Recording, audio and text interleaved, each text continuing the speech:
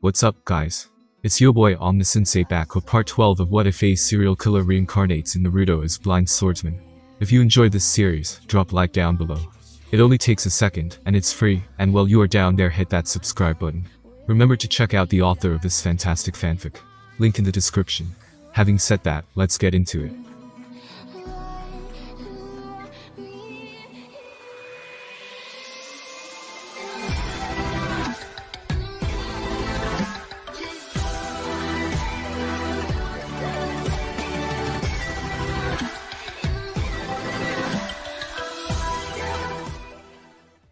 POV narration. Ken cracked his neck as he stood in front of the classroom. The podium in front of him was filled with blank pages, as usual. They weren't blank per se, but nothing could be seen with the naked eye. This was optimal, as Ken had no eyes, naked or otherwise. But despite being empty, the pages were also fully written. Within Ken's mind were drawn countless theories about the ways he could go around to teach his students about natural energy. Plenty of thoughts and experiments he wanted to run were laid down on those papers. The reason why they were empty was quite simple. Invisible ink. Not just that, Tasho had gone out of his way to seek out and create a form of ink that could be felt when being infused with chakra. It was actually quite expensive to make, and chakra metal dust was used during the creation process, but it was a rather great tool. One couldn't really see what was written when the paper was infused with chakra, but they could feel it. The normal shinobi would still have trouble reading something through his chakra, but to a sensor like Ken, it was child's play. Jiraiya still didn't realize what was going on, so to him seeing a blind child sift through a stack of empty papers in front of a full classroom was still jarring.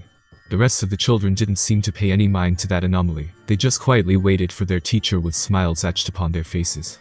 Jiraiya couldn't help but sweat at that scene, it honestly felt as if the children were well and truly brainwashed.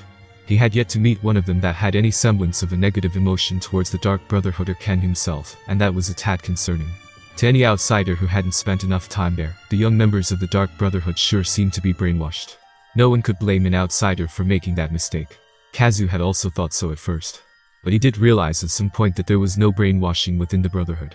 They're just being treated well and are acting accordingly that was the conclusion that the Uzumaki Seal Master had reached after all the time he had spent within the Brotherhood. Of course, Jiraiya didn't really think that Ken was the one pulling the strings in that sense. He may be strong, stronger than anyone here, but I doubt he is experienced enough to pull something like this off. Maybe one of the blades is controlling the organization behind the scenes. The Toad Sage's mind immediately went to the three blades that were present in the back. The first one was just standing in place, still like a pillar while observing the classroom through his mask. Although he was standing there, and Jiraiya could see him, his presence was fleeting, almost as non-existent as that of Ken himself. It was hard for Jiraiya to tell what was on his mind.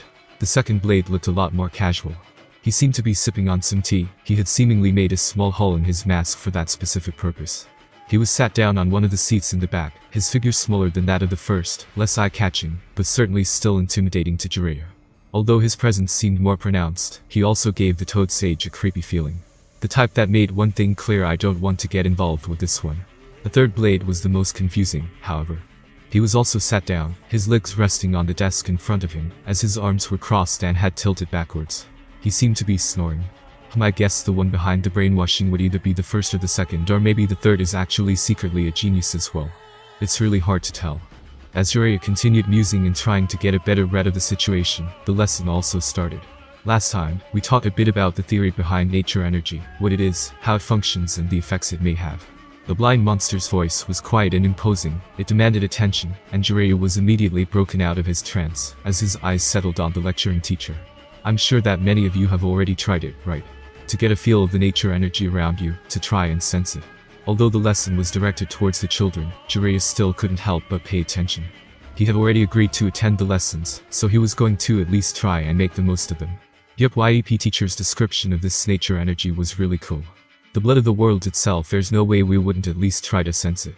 Yu clapped her hands, happily responding to her master teacher. Many of the children present nodded at her words, Tetsukio and Morita included. Ken had been quite blunt during their past lecture. He made it very clear that nature energy was far superior to chakra in terms of the raw power it provided its users. Although it was a completely different type of energy from chakra, and it couldn't quite be molded the same way chakra could be, it was still similar in many ways. And when it came to raw power, there really was no comparing the two of them. Many of the children had already tried to get a feel of it, all of them sitting down and meditating in their spare time. But none of you have made any progress, right? Ken crossed his arms and tilted his head. All the children were quiet this time around, looking down in disappointment all but one. I can feel it, father you have big energy around you. Bigger than everyone else. A little girl with her hand raised was the one to speak out. Her speech was a bit messy and her words a bit frantic. It was none other than Yumebi, Tayum, the Dark Brotherhood's youngest. She gestured with her hands as she spoke, raising them to the sky as she described the literal pillar of nature energy that was Ken's body. Now, if Ken had eyes, he would have been blinking in confusion at that. He hadn't expected any of the children to sense nature energy in such a short time frame. Jiraiya's eyes almost popped out of his head as well. He looked at the young girl with shock and awe. Sensing nature energy was no small feat. Countless others struggled for days on end to sense it when starting their sage training, and that was within the confines of Mount Myoboku. They were all training near the spring, where the density of nature energy was the greatest in the world.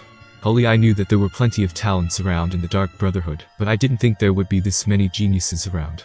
The one-legged devil and bloody princess were bad enough already. But it seemed that the Dark Brotherhood had caught a lot of golden eggs among their recruits. Jiraiya couldn't help but feel slight jealousy. That is interesting. In that case, you can come and stand beside me.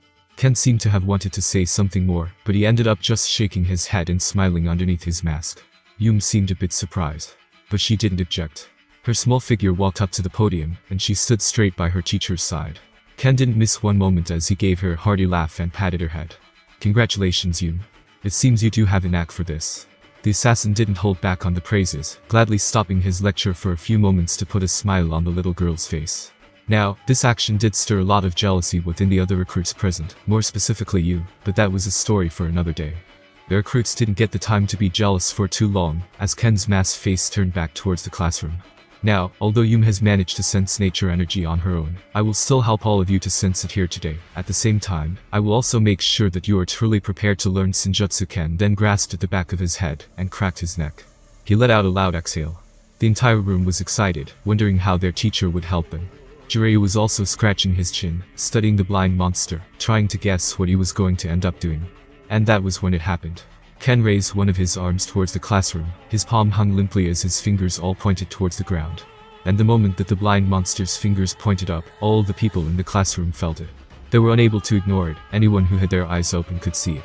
A purplish aura extending from Ken's palm, a malevolent wave of energy pushed everyone back, all the students covering their heads, and taking a few steps back before kneeling down to withstand the pressure. The second the wave appeared, Jiraiya was already stuck to the wall at the very back of the classroom. He stuck to it like a frog, as he watched the podium with terror in his eyes.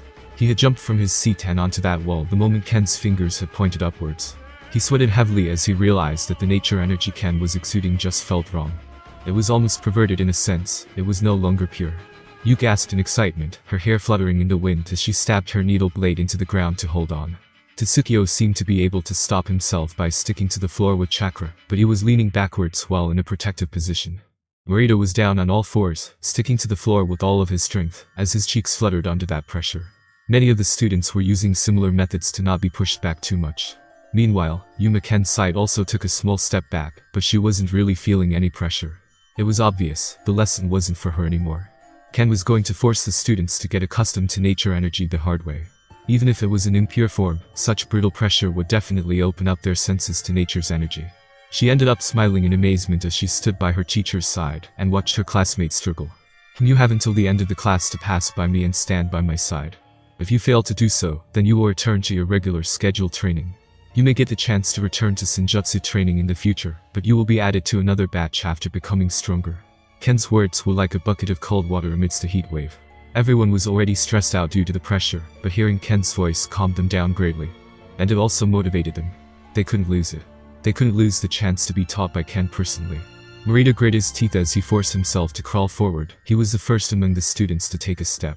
Before anyone could even blink, a slight gust of wind passed through the classroom, and the first blade was already standing by Ken's side, his arms held behind his back as he stood there silently. Jiraiya's eyes whitened once more when he noticed that. Not only at the fact that someone was able to withstand Ken's pressure so quickly, but also because of his speed. HAHA Lao Yuan was hurt next, as the third blade was seemingly woken up from his nap. He looked around confused for a moment before shrugging and walking forward like nothing was happening. He seemed to also not be in any rush. He just kept his hands behind his head as he yawned and walked through the pressure. He eventually reached the podium without any issue, and just sat down by Ken's side. Seems like someone's been fed well. The second blade slowly put his teacup down as he also stood up. He then vanished from his spot and reappeared behind Ken as well. He seemed to have just used the body flicker technique. Holy shit this place really is filled with monsters Jiraiya couldn't help but sweat. He wasn't sure if the exercise applied to him as well. But he damn well didn't want to appear any weaker than the blades. So he immediately started running towards the podium as well. His speed was good, certainly not any lesser than that of the first blade. And he made it through the aura wave as he overcame his fear of it. He was a legendary Sannin for God's sake, he wasn't going to allow himself to be outdone by some masked wackos in a bounty hunting organization. In the end, the children also bore through the pressure. Their eyes were resolute, their minds fearless. After all, why would they ever fear their father? The trust they placed in him was greater than anything. So there was no need for any of them to worry about getting injured. So they just trudged ahead. Morita was first to reach the podium, crawling onto it and lying down while panting with a smile on his face. The next to reach it was Tsukio. He simply dashed towards it, flying through the air in a few straight angles before landing behind his teacher in a crouched position. Well, he was mainly supporting himself on his arms as his one leg was crouched down. After that, it was Yu's turn to show off her skills. She immediately used her sewing needle to extend a dozen or so threads onto the stage, and she pulled herself towards it using them. She did try to accidentally crash into her teacher, but Tasho fortunately caught her by the scruff of her neck and dragged her away to a corner of the podium, where he placed her down like one would a puppy. After that, the rest of the students also managed to cross onto the podium, although at a slower pace than their more talented classmates. However, in all fairness, many of them were situated more to the back of the class, which also made things more difficult for them. Overall, Ken was very pleased with the results of the test. Many of the children seemed now to be more aware of the nature energy around them. All of them could now, at the very least, sense Ken's aura, even when he was not bothering to use it actively. Of course, this was as long as Ken wasn't bothering to hide it. Still, that was very good progress in itself. As for Yum, well, she had just managed to become Ken's third personal disciple within the Brotherhood. Ken was going to be giving the little girl a lot of extra lessons to allow for her overwhelming talent to bloom and shine thoroughly. Hmm, yes. Things seemed to be going quite well Ken couldn't help but smile as he finally reached his office after a long day. He sat down, and the second he did so Tasho was already entering his room, with a letter in his right hand. Master, it seems that we've received a request for help from a rather large group of orphans within the land of rain more work, huh? The assassin just sighed as he slumped into his chair. POV narration. Well, calling them a group of orphans may be a bit harsh. But they do all seem to be teenagers, 15 and above. Tasho spoke out as he stood in place and waited for his master's orders. Ken just sighed and shook his head. Still the Akatsuki, huh? Ken rested his legs on the desk in front of him, as his mind started struggling to remember whether or not he had heard of them before. But no matter how much he struggled, he couldn't quite remember any mention of such a group in the past few years that he had been active in that area. They are seemingly a new organization, founded on the coattails of the Second Shinobi War, well, near the start of the Third Shinobi War in fact. Tasho had seemingly already done his homework, having received that message right after the lecture and rushing to find out more about the Akatsuki as a group. It hadn't even taken him a full hour to reach out to his various informants and find out more about the situation in the Land of Rain. The Akatsuki were essentially an insurgent group that sought to end the warring period. At least it was their stated mission to the world. They were indeed mainly comprised of war orphans, so it was fair to say that their goal was likely genuine. But that was about where Tasho's knowledge of them started and ended. It wasn't like he had time for a thorough investigation for a random help request. But since he knew of Ken's stance regarding the war, he felt that it was worth bringing up the Akatsuki's request to him, since their views seemed to align to some extent. The blind monster listened to his right-hand man's short report. So what does their message even contain anyway? You described it as a request for help. Ken's intent was clearly portrayed through his words, at least for Tasho, who knew his master best. Although he was acting indifferent, Ken's interest was certainly piqued. After all, it was quite rare for a group of shinobi to be vying for the end of the war. Then there was also the fact that both the Dark Brotherhood and the Akatsuki seemed to be a place of refuge for orphans of war. Those two factors alone were more than enough to capture the blind assassin's attention. Well, they're specifically asking for an audience with you. They seem to have learned that you aren't that far from their age, and that you don't get involved too often in the wars of the shinobi, so they're looking for a helping hand with ending the war, huh? Ken tilted his head as he continued his subordinate's words without stopping for even a second. It was the only logical reason as to why the Akatsuki would contact the Dark Brotherhood. Although Ken hadn't expressed his will to bring about peace to the world yet, the Brotherhood was already notorious for staying out of the shinobi wars. Ken personally did get involved in one conflict related to the war, and did clash with the Mizukage and killed the Jinchuriki. But that was said to be a mission for a friend, the Raikage and having the Raikage as a friend likely just meant that Ken had more influence in the world for the young leaders of the Akatsuki. Well, that is the gist of what I gathered from their message. So what is the plan, will you be visiting them? Tasho nodded and crossed his arms. The Samehada behind him also wiggled a bit, awaiting Ken's response with intrigue. It's worth looking into at the very least, but I am afraid that the children may become a bit overzealous. Ken seemed to be a bit conflicted, causing Tasho to tilt his head slightly. And then why might that be? Tasho crossed his arms and waited for his master's answer. The blind assassin didn't let him wait for long. I did just help them all become more sensitive to nature energy. I'm afraid they may start trying to absorb it on their own and without any supervision. Ken Sai weighed heavily in the room for a few seconds. Tasho seemed to be thinking for a few seconds before he turned and looked at Ken. Well, they're much more well-behaved than that they won't attempt something you specifically prohibit them from doing. They all listen to you and respect you. He was quick to come up with some sort of reassurance, but it didn't seem to be enough for Ken. Oh, I don't doubt that for one second. But they are also extremely eager to prove themselves. They all want my recognition at the end of the day. And just about all of them tried to sense it before that lesson even started. Well I am here, I can sense them at all times, so I can make sure they don't try something stupid don't get me wrong, I trust you fully, but your eyes aren't as good as mine. Ken's speech came to an end on a rather sad note. But Tasho didn't seem at all discouraged. He was well aware that he couldn't possibly keep his eye on everyone in the compound like Ken could. He did think he'd manage with the 10 children that were taught, but he was still not 100% confident. One thing he learned from working with Ken is that he only really appreciated certainties, and he disliked lies. At least when he wasn't the one telling said lies. That hypocrisy was one of the few things that reminded Tasho that his master was still human, no matter how much his body morphed and changed throughout the years. That and the affection he showed to those he cared for. I apologize for my inadequacies at that point, Tasho could only really apologize. He was supposed to be the second in command, but Ken really was the one that glued everything together. With him there, anything in the world could go wrong, and they'd still find a way to fix it. Without him, things became a lot more difficult. He was a bit disappointed in himself. After all, his master was clearly intrigued enough about the Akatsuki to want to make a trip there, but he was held back by his incompetence. And then he finally got an idea. Well, it is possible that you can go out. For one, you can have Saburo pay special attention to those children. We can hit them with that stick you retrieved from Mount Myoboku, if they really do try something. Tasho immediately started going through a few scenarios, trying to think of the worst possible outcome if Ken did leave for a week or two. The blind assassin himself decided to just silently listen for now.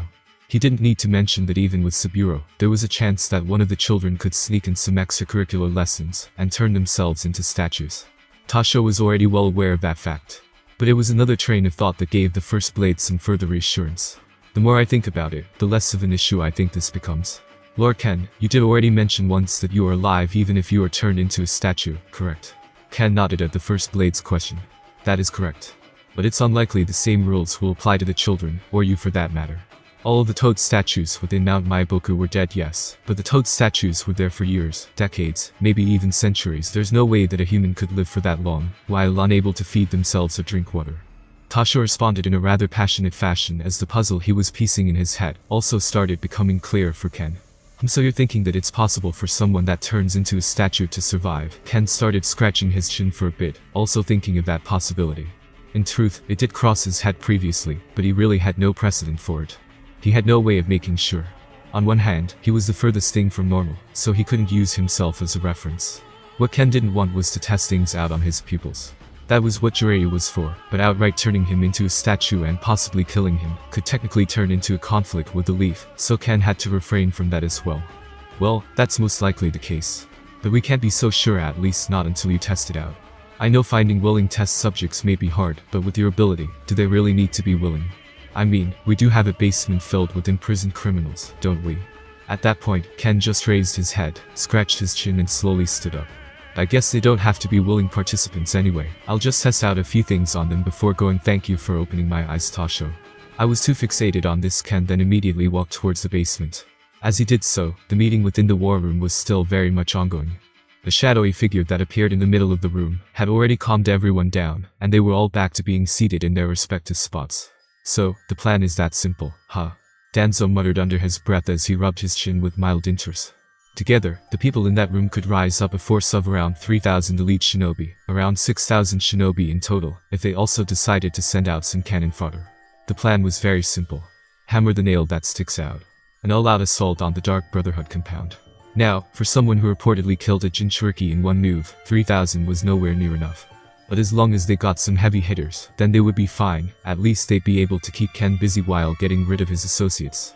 Of course, that was what the people in the room thought. But the one leading them, the man with the odd eyes and long spiky hair, had other plans. The plan is indeed that simple. I know what most of you are thinking. An all-out assault in foreign territory is never a smart way to go about things. This is why I have already sent some scouts there. They will find the best opportunity for the attack during the following weeks. Your only task right now is to gather your men and wait for my signal when you receive it, advance immediately. The man's deep voice echoed throughout the room. The man's transparent figure shook slightly, causing the man to close his eyes for a second. It seems that this meeting will have to be cut short. Wait for my signal, we will strike at the most opportune time, and just like that, the heavy atmosphere in the room was lifted. All the people present looked at one another, all of them narrowing their eyes through their masks. It seems we all have some preparations to make as much as I don't like working with these people. The red dot is too big a potential threat to be ignored, and just like that, the stage was set. And the man that had pulled the strings, the one who possessed the strange eyes, was currently in a completely different corner of the world. A weak-old man, his back bent by the weight of time, his hair bleached white due to age. His wrinkled face sweated a bit as he swayed to the side unsteadily. In that instant, another figure rushed towards him, catching him in an instant. A pale-skinned figure with green hair. It just silently held steady the old man. At that moment, the old man's eyes transformed from their ring pattern to a simple three-tomoe Sharingan pattern. The old man panted. Keeping up that illusion sure is tough, he sighed as his companion also laughed a bit. Maybe it would have been easier if you kept your eyes you wouldn't have had to fake them at least. The pale humanoid figure spoke out, slightly chastising the old man, while also keeping his tone respectful. HMPH, I don't expect you of all people to understand my vision. This is necessary, my plans must be seen through to the end. That red dot and his little ragtag group of orphans are nothing more than a momentary nuisance. The old man laughed a bit as he allowed himself to be carried over to a bed. Of course sir, the pale humanoid spoke out as he helped the old man lay on that bed. At that moment, a fleshy tentacle extended from the shadows and connected itself to the old man's abdomen. HMPH, we'll see if he is truly worthy enough to be compared to Hashirama POV narration. Zetsu, a being spawned out of a mix of impure nature energy, drained from the Gedo statue, the husk of the old Ten Tails, and Hashirama cells. An entity that couldn't possibly be described as human, but had a humanoid shape. His pale white skin also stood out, moss-like green hair making him even more recognizable, but Zetsu wasn't just one entity. No, the Zetsu were already in the hundreds, creations of the great Madara Uchiha from when he was still playing around with his Rinnegan and his dead friend's DNA.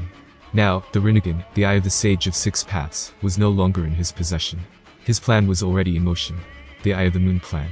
The one way to truly achieve world peace in the eyes of the Uchiha ancestor.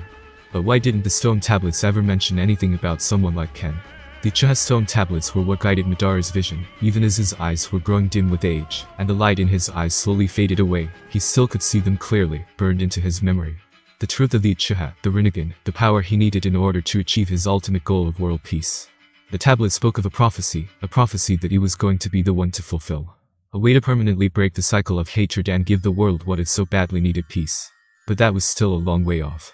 Madara was still slowly putting all of the pieces on the table when Ken appeared the Red Dot. A person who could only be described as overwhelmingly powerful, and due to his age, ultimately a danger to Madara's plans. It was impossible to fully convey the frustration that Madara felt when he saw how the destruction of the Uzumaki had failed. It was a rather important part of his plan, as the Uzumaki were always a pesky adversary with their sealing techniques, more specifically their bloodline limit was what made Madara want them gone. The adamantite sealing chains, a technique so powerful that it allowed even a weak member of the Uzumaki to hold down even the most powerful tailed beast, the Nine Tails. Of course, it was thankfully not as common as the Sharingan was for the Uchiha, otherwise, the Uzumaki likely would have already taken over the world as a technique, it was simply absurd, which was why Madara wanted them gone for assurance that his plan had no chance of failing. Of course, his involvement in that matter was rather minimal, as the shinobi villages had their own reasons for wanting the Uzumaki dead. But now it had all gone down the drain. And Madara knew, even if he had no actual proof, that it was all the work of Ken. Too many coincidences aligned perfectly for it to be anyone else. Of course, Madara knew that even if he was to try and pin it on Ken, to attempt to make more villages go after him, he wouldn't succeed. The only villages left that were not part of the war room were a few smaller ones, the Cloud and the Mist village. The smaller villages couldn't matter less in Madara's eyes. There were nothing but cannon fodder in front of someone like the Red Dot. The Mizukage was genuinely terrified by Ken, to the point where he simply preferred not to get involved in the matter at all. Ken had also seemingly burrowed into the mind of the Raikage, to the point where Madara couldn't even come close to making him see the light. No matter how many anonymous messages he sent, the Raikage didn't take any one of them seriously. To him, the matter of his son's death was already over. They had found the culprits, and they had also found actual physical evidence of the crime. At that point, any attempt to link Ken to that crime would be seen as a ploy in the Raikage's eyes. At that point, Madara couldn't help but marvel at the mind that had thought out that plan. He was unsure if the red dot had acted alone, or if there was someone within the Brotherhood that was influencing their moves. But whoever had thought up that plan was surely going to prove troublesome in the future. So, it was decided. We need to get rid of the entirety of the Dark Brotherhood, just to make sure no one will stand in our way. Madara already ordered one of the Zetsu to spy on the Brotherhood. They were very difficult to detect, after all, no sensor could find them at all, as they didn't even have a chakra network. Unfortunately for Madara, his intel was not quite as exact as he would have liked it. He had no idea that Ken was not only a sage, but also technically always in sage mode. The second the white Zetsu reared its head out of the ground a few kilometers away from the Brotherhood, Ken's face immediately turned in its direction, and he tilted his head. That strange doesn't feel human, no smell, no chakra feels more like me actually, but even weirder. For a second, the blind assassin pondered on whether or not to take action against the intruder. But after observing him it for the better part of an hour, Ken realized that it was more than likely a spy. Tasho, at some point, also realized that his master's attention was pointed somewhere. The first blade was, as of late, almost always by Ken's side inside that small office. He could easily tell when Ken got distracted. He had noticed Ken's behavior from the beginning as it had come. While they were looking through some paperwork well, Tasho was looking, and Ken was just nodding to the reports. It didn't take long for the first blade to become curious. Did something happen, Master? Or, do we have any visitors that I am unaware of? Ken smiled a bit as he shook his head slightly. I'd say more in line with the second an unannounced visitor seems to be a spy more specifically. Tasho immediately perked up, he tried to sense if anyone was nearby, but he found himself unable to. Don't bother. He seems to be impossible to spot with normal means. You may be able to do it in the future after you master Sage Mode. Ken shook his head once more as his head turned in that direction once more. Should I go out and apprehend the spy, sir? Tasho's tone sounded as serious as could be. After all, the spy had managed to sneak past everything, every seal they had placed for protection and detection. It was certainly a matter of concern. Don't bother, he doesn't seem to be particularly strong. It doesn't even appear that our intruder has any chakra, which is likely how he snuck in. At that point, Tasho just scratched his head in confusion. In his mind, there was no such thing as a human, or being for that matter, without a chakra network. It just felt wrong. As still, wouldn't it be better to catch him so we can study him in that case? The million dollar question, there was no doubt in Tasho's mind that Saburo would love to get his grubby hands on such a fine specimen. Bah, we'll get a chance to capture him right. But it's not worth announcing the ones that sent him of our awareness. It would seem that a group, probably a quite powerful one at that, is planning something that's related to our little organization. At that point, Tasho's grip tightened on the papers he was holding, slightly crumpling them as his anger boiled. They had done their best to avoid offending as many people as possible during their work. Even when Ken handled personal matters, he always made sure to keep outside relations mostly positive with very few exceptions, like the grass and the rock villages. But it seemed that no matter how much effort they put into building their own piece of heaven, the outside world was bound to want to crush it into the ground. Don't get too discouraged. I am 70% sure that this is related to me at the end of the day. But it was only a matter of time before something like this happened. Whether it's now or in two years, it's all the same to me. Ken shook his head and pondered upon a few things. On one hand, it could be argued that revealing his age was what might have brought even more attention to the Brotherhood. But at the same time, he had already proven that he was a threat by breaking the Mizukage and killing the Jinchuriki of the waterfall. It was only a matter of time before someone deemed him too much of a threat to keep around. The blind assassin didn't really have any idea of the forces on the other side. Whatever informants the Brotherhood had failed to notice anything off as of late. In the end, they were being dragged into a war. And they were being dragged into a war while blind. Tasho must have also realized that, as Ken could feel his emotions growing more somber every second. But at the same time, there was something both Ken and Tasho realized. Something that put the First Blade's worries at bay at least momentarily. The Dark Brotherhood can fight without sight our opponents, whoever they may be, better be prepared Tasho, if you will, can you call the other blades here as well? Ken scratched his chin as he waved his first blade off. Tasho slowly nodded before getting up, then he seemed to tilt his head slightly as a sigh of frustration left his lips. I just remembered something. Saburo mentioned that he had to go out for a bit. He moved his main body to somewhere a bit further away to keep contact with the clones, so he wouldn't be able to personally make it here. The first blade sounded a bit frustrated, both by the situation and the second blade's absence. Well, his clones are still around the compound, so he can still attend, even if he isn't here physically, but why was he going out again? Ken shrugged off the first part, but immediately became curious at the second. He didn't go into details. He just said he'd go out to meet with an old associate. That answer immediately felt off to the blind assassin. An old associate, huh? At that same time in the middle of a forest within the confines of the land of Fang, the dim daylight couldn't even cut through the leaves, as a masked human wearing a long cloak slid down into a small cave and walked forward. The masked human walked in a borderline mechanical manner, akin to a puppet on a string, but otherwise completely normal to the untrained eye. It walked through that cave without ever bothering with seeking a source of light.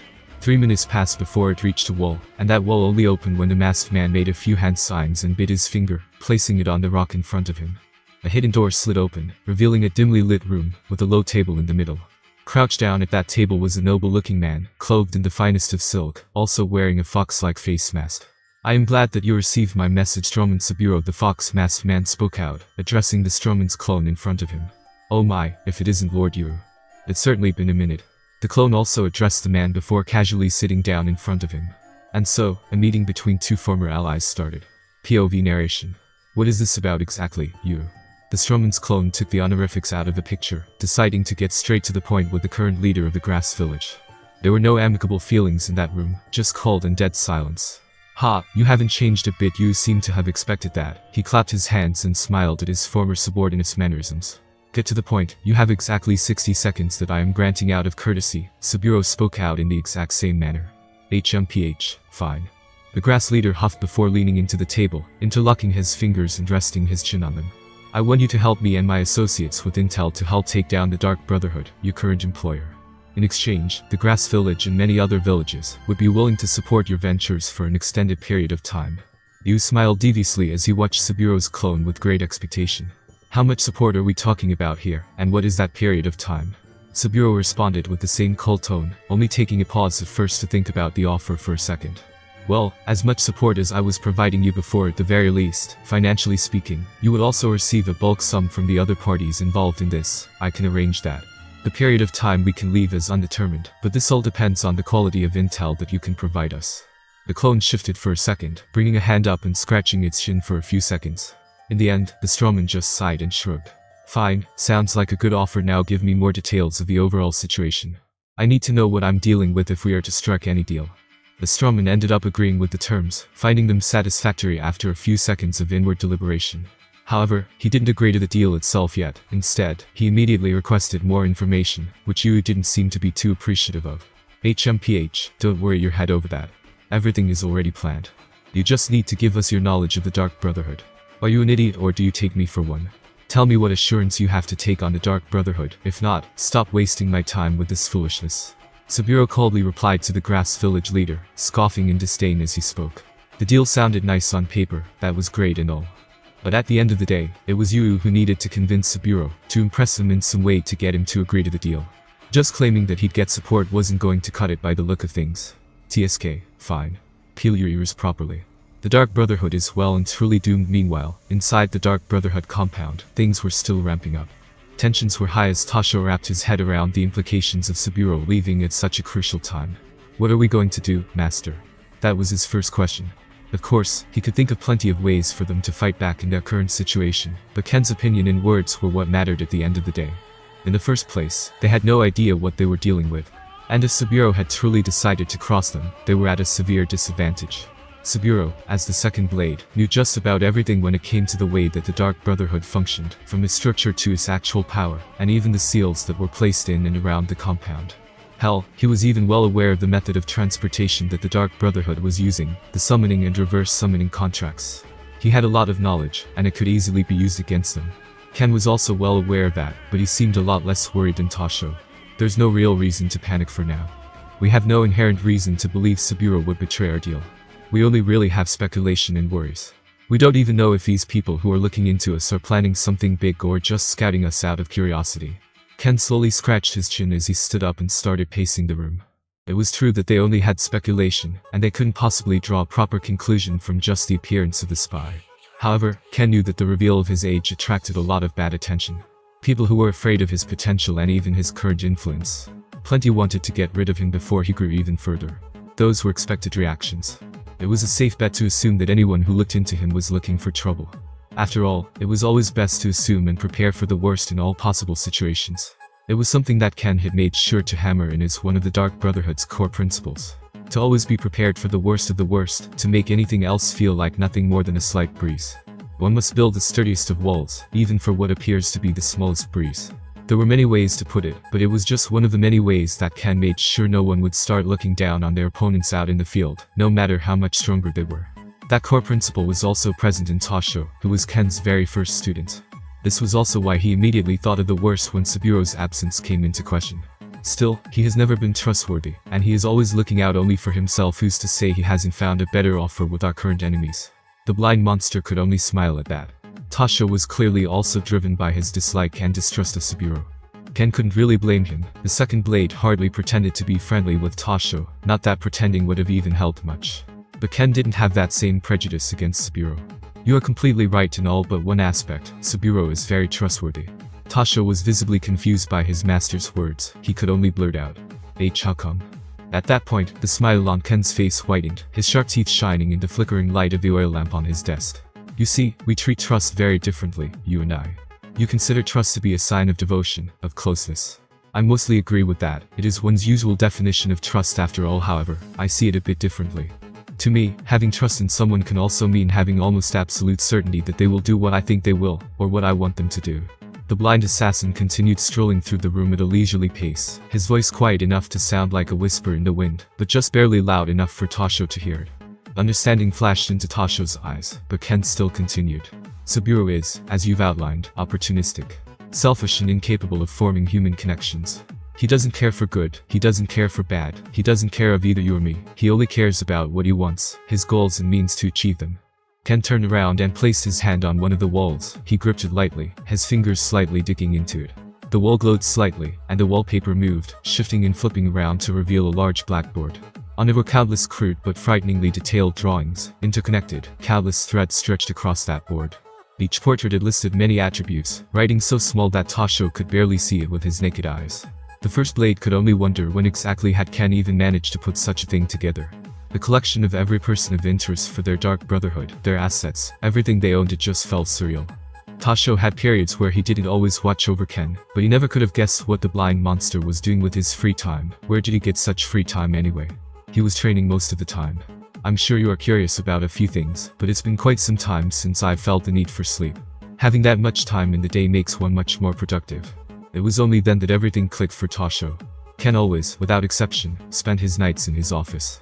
He had a room, an official master bedroom within the same building. But it was simply collecting dust. H how long has it been how long has he been awake? Tasho's eyes widened as he came to that question. But Ken didn't let him dwell on it for too long, immediately continuing with his previous speech.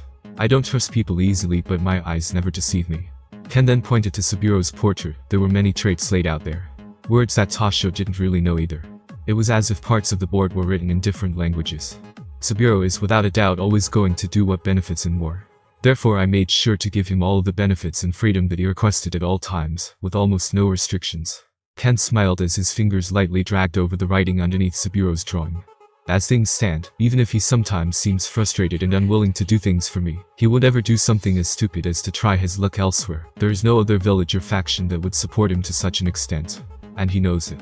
Tasho seemed genuinely surprised at the way Ken described the second Blade's character.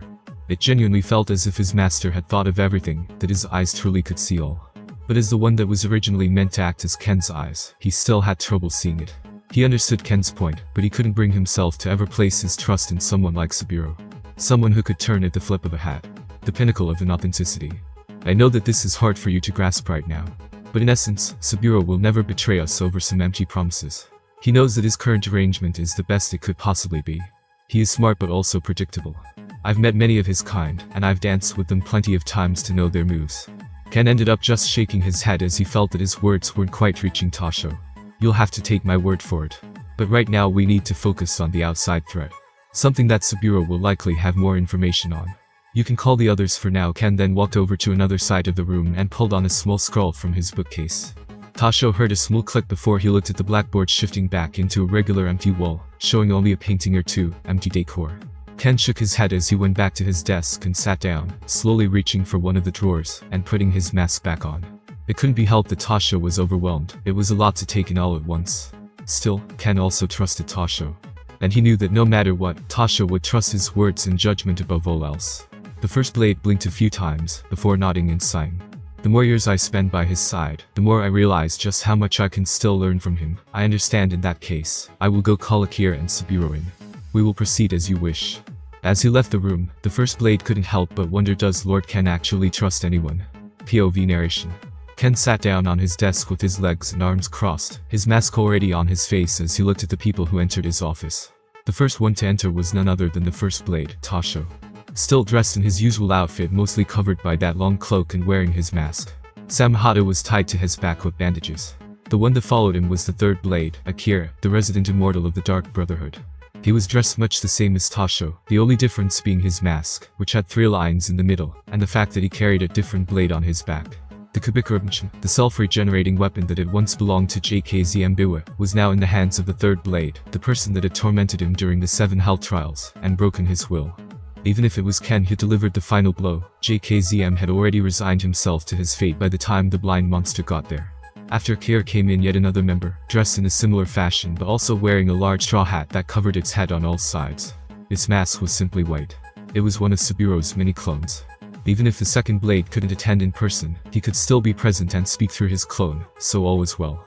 Still, even through his clone, the strawman could feel the tension in the room skyrocketing as soon as he stepped in it. It wasn't that surprising given the circumstances, but the biggest source of that tension was Tasho, the first blade. Ken was just sitting in the same position on his desk, unmoving. Sue what's all this about boss? Akira was the first one to speak up, directly addressing Ken whilst ignoring the tension in the room with great proficiency. It seems that our Dark Brotherhood has attracted the attention of some rather suspicious characters. Someone is currently lurking the premises and looking at us from a safe distance. The blind assassin responded without even missing a beat. Akira merely smiled at that. The immortal went and cracked his neck while asking a very innocent question. Want me to go cut them up? Natasha was there to discourage him. No, we must proceed with caution. We can't alert our enemy that we are aware of them. The first blade huffed, almost as if he was saying something obvious. He didn't bother to remember that his first reaction upon hearing of the spy was about the same as that of Akira. Ha, so something big is gonna happen then. Do we know anything about the enemy at all? Akira scratched his chin and leaned on the long blade on his back. Its tip scratched the floor slightly, but no one told him off. We do not but we hope that someone will be able to help with that as Ken spoke. He angled his head towards Saburo's clone, which had just been silently watching for a while. HHH nothing really escapes you, does it leader? Saburo's voice echoed in the office as he heaved a tired sigh. At the same time, back in that hidden location, Lord Yu had just finished explaining the situation to the Strawman. So a gathering of hidden villages and organizations all striving to take down a future threat to their influence. All led by a mysterious figure that you cannot identify. Saburo repeated that briefly as his usually cold voice sounded thoughtful. He with the amount of power gathered, there is no way that the Red Dot or the Brotherhood can ever stand a chance. No matter how strong a dragon is, it can still be killed by an army of ants that's big enough. Yu laughed out loud as he imagined the figure of the bloody and beaten Ken on that battlefield. The grass village may have failed in the past, but with the powers they had now, it was simply impossible. Hell, even the god of shinobi would have had trouble dealing with that many shinobi. And the best of all, we also have the element of surprise. And with your help, everything is bound to go smoothly after all. I am assuming that you are the brains behind the Dark Brotherhood's operations. Yu smiled behind his mask as he spoke confidently, especially on that last sentence. His confidence managed to somewhat confuse Saburo. Hmm. And what gave you that idea? The strawman muttered under his breath. Oh please. As if some 13-year-old kid would be able to come this far in our world, you sure snatched up a nice seedling and developed it nicely too. But you were reaching too far I'm afraid. If you refuse this deal today, then I'm afraid you will be crushed alongside the Brotherhood unless you run away, of course. Yu spoke out with disdain, although, it was to be noted that he added that last part half-heartedly. It seemed that he was confident that Saburo would take his deal. Hm, you're right it's been a nice experiment, but a smart man knows when to switch sides. I attracted too much attention. Saburo didn't bother correcting the grass village elder, he didn't care enough to do so. Still, in his mind, he couldn't help but curse. Control him. You're right maybe in my dreams. Even if I integrated myself within the Brotherhood I am still nothing more than a tool to that blind monster. If only he were as immature as his age suggested well, at least he makes for a reliable business partner, one that I would rather not lose anytime soon. Hahaha. I knew it. You've always been a sly fox. Yu laughed out loud, even slapping his knee. His entire demeanor just felt fake, as he had been acting all cold just earlier, but it seemed that having Saburo confirm one of his theories put him in a good mood. The strawman pondered, he seemed to be deeply thinking about the proposal. This made Yu smile, and then he decided to put one last nail in the coffin, something that he believed would help seal the deal nicely. Besides, rumor in the shinobi world is that the red dot is quite upright, isn't that true? You may be manipulating him into accepting your inhumane experiments for now, but can you be sure that you'll be able to do so in the future?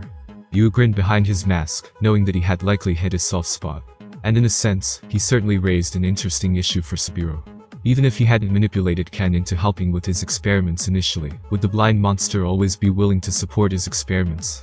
It was indeed true that he seemed to be developing more of a moral compass as the years went by, but this was the first time that Saburo seriously considered the possibility of Ken wanting to alter their deal. Silence stretched in the room as Saburo now seriously considered that possibility as well. The silence didn't seem to be something that Yu liked by any means. He coughed awkwardly a few times as he awaited the Strawman's response. Very well I accept your terms.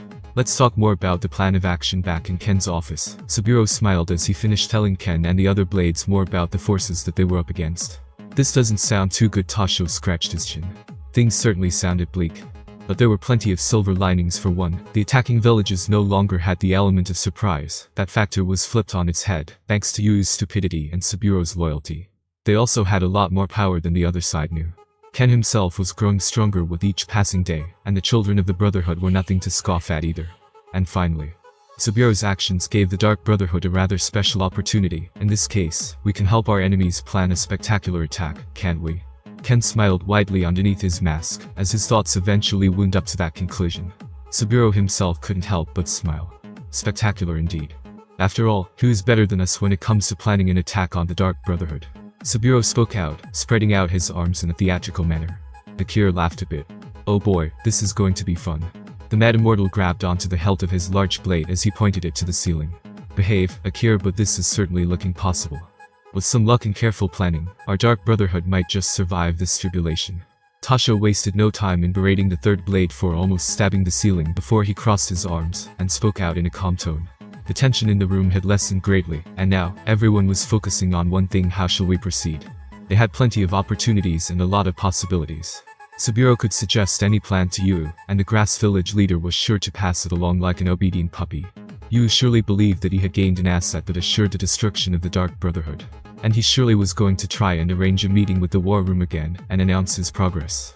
It wasn't long before the upper echelon of the Dark Brotherhood came up with a proper plan of attack unfortunately. It seems that we will have to postpone Senjutsu training for now, but it's time to get the show started POV narration. Jiraiya sat down in a meditative position in the middle of the clearing. He sat on a large rock somewhat close to the hollowed out trunk of the tree he had decided to rest in. He tried his best to sense the nature energy around him. He wasn't trying to draw it into him, but to control it. He was failing miserably, as nature energy, much like Chakra, was almost impossible to control well outside of the body. A regular sage could infuse their attacks and jutsu with nature energy, but they couldn't actually manipulate the nature energy outside of their body. Ken seemed to be the only exception to that rule, and now Jiraiya was also doing his best to break out of the mold in some way. But he was unfortunately banging his head on a wall by trying to replicate his barely human Senjutsu coach. In the first place, it was awfully arrogant of him to even bother trying. He wasn't even considered a perfect sage by the standards of the toads yet.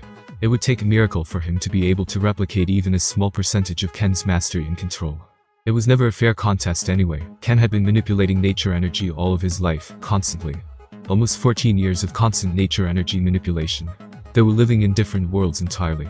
Maybe I'll be able to do it in the future who knows, as long as I keep studying under him. Everything might just work out the Sannin had a long road ahead of him. Unfortunately, it wasn't going to be a straight road, but for now, the fledgling sage could feel progress right up ahead. And all of a sudden, he no longer felt like stopping. Instead of just observing the energy around him, he started drawing it in. His mind entered a zone, one in which his focus was entirely directed to that nature energy. And slowly, he gathered it, with practiced ease, he felt his body slightly shifting, growing stronger as it absorbed that energy. He had finally done it. The first time in his life that he had reached that state unaided by others. In the past, he had a lot of issues attracting the nature energy, but now it all seemed to flow naturally. It was the first time in his life that Jiraiya felt that powerful. It was a feeling so strong that it could get someone drunk. Excitement overtook him for one moment, and it all came crashing down. He felt the energy within his body go wild and like many times before, the nature energy from all around him rushed into his body, just like before, uncontrollably. Even though he wasn't using any toad oil, the nature energy from around him seemed to be attracted by the energy in his body too much, far too much for him to control. But if he moved and broke his concentration, then the balance would shift, and he'd surely become a statue worse part. There was no one there to help him. In those few seconds that he struggled, Jiraiya couldn't help but curse at his own stupidity. Ma and Pa had warned him endlessly that he was to not practice on his own, that he was not yet prepared. In that instant, just as he felt his body transforming and gaining frog-like features, a large hand grabbed his head and gripped tight, taking away his breath instantly. The Sannin opened his eyes in shock. He looked at the figure in front of him through the gaps between his fingers. A tall man with an arm that was bludgeoned with muscles, covered in scales, a palm that was as large as half of the Sannin's head, fingers wrapped around his head. It was obviously Kenner the Red Dot, the child that just so happened to be his current teacher in Senjutsu. Just as quickly, Jiraiya could feel the nature energy within him get snatched away unceremoniously. He felt that large hand let go and immediately rolled backwards a few times, taking a few deep breaths and clutching at his chest for a few seconds. I'd appreciate it if you don't try to kill yourself in the future. You're not yet ready to enter sage mode by yourself, especially not in this area. His teacher's voice sounded out in that small patch of force. T thanks. But what's wrong with this place? I've never been able to attract that much nature energy by myself the Jiraiya muttered as he tried to get a better grasp of the situation and his surroundings. This place and all areas surrounding it are marred. The nature energy is very different from the one on Mount Myoboku or other areas. It's due to it being filtered through me for a long period of time. It's easy to attract and hard to control for others that aren't me, or at least that seems to be the case. You're lucky I always pay attention to my surroundings and that I rarely sleep. Ken shook his transformed arm, and it turned back into the arm of a human without much issue. The blind assassin then cracked his neck inside, allowing the Sannin to take in his previous words. I guess I should have expected something like this to happen. Nothing about you or around you will ever be normal, I guess. Jiraiya laughed a bit as he slowly stood up, finally regaining his bearings. In his mind, he was also considering the blind assassin's last sentence. He rarely sleeps, huh? Is that why he's that much more mature than someone his age should be? Even then it's pretty odd to consider sleep is rather essential for a human to function properly. Although the world they lived in had yet to study the medical benefits of healthy sleep, they still had some basic understanding of the concept. Well, their understanding came from a rather obvious place namely, sleep deprivation was oftentimes used as a tool to torture prisoners to help get information out of them. Jiraiya had seen it with his own two eyes, how someone who hadn't slept in around seven days. The man was already showing signs of going crazy. So he had a good example of how lack of sleep could look in someone. But no one had bothered to look into the benefits of getting enough sleep. The Sannin's thoughts wandered for a second or two, as he blinked and wobbled a bit, slightly dizzy from the sudden lack of strength in his body. He had just experienced the strength one would have as a perfect sage after all. But it was stripped away in an instant when Ken touched him, leaving him feeling feeble. Now that we've got that out of the way. Ken clapped his hands, breaking the Sannin out of his mindscape, and bringing him back to the real world. Yes, sorry for going behind your back and trying this. It could have ended real bad Jiraiya only now realized just how badly he had screwed up. He hadn't just endangered himself, but also Ken's relationship with both the Toads and the Leaf Village. After all, if Jiraiya was to die while under Ken's tutelage, it wouldn't end well for the blind assassin at all, and he'd surely get blamed for it. Let's not dwell on it too much but never do that again, summon Ma and Pa at the very least next time. Thankfully for Jiraiya, Ken was willing to forgive and forget. Sure thing teach. The Sannin then eyed Ken suspiciously before crouching down. Is something the matter? It seems like something is on your mind. It wasn't hard for the Sannin to notice that Ken had something to say. Even if he hadn't spent that many days near Ken, he was good at reading people. A lot is about to happen within the Brotherhood, and it seems that we will have to postpone our Senjutsu lessons. Ken crossed his arms and also sat down in front of Jiraiya. That's Kindavig. I'm assuming it's an internal affair then. The Sannin sweated a bit as he scratched the back of his head. I guess you could call it that. I have to leave the compound very soon to meet a potential future ally. The blind monster sighed as he spoke, his head turning slightly as he seemed to tilt his head to the side. Ken smiled silently as he felt their little spy arriving on the scene and listening in on their conversation. It's awfully bold of him to come so close to they not know that I am a great sensor. Or, I guess they are just confident in their abilities oh, I get it then. I can stick around in that case. I don't have much to do back in the Leaf. Things have been strangely silent with the war lately Jiraiya just shrugged. He wasn't against spending a few weeks in the wilderness. Hell, he could even spend that time with and Pa, continuing his training from before. Well, you can certainly do that, but I have a task for you. Ken's hand reached into his coat, and with a sleight of hand, he took out a small scroll. I have a message for Lord Hokage I want you to personally deliver it. Jiraiya blinked a few times and held out an open palm. Ken placed the scroll there unceremoniously and grabbed the Sannin's wrist tightly. You seem like a kind man, Jiraiya, a bit perverted, but kind you can open it. But only when you are halfway through your journey to Konoha. Those strange instructions made Jiraiya blink a few times. He was certainly curious, but at the same time, he also realized that he wouldn't get any answers from Ken regarding the scroll's contents. So, he just nodded and decided to set out right away. Well, I'm rested enough, I guess I'll go back and see how my little students are doing, and deliver your message of course.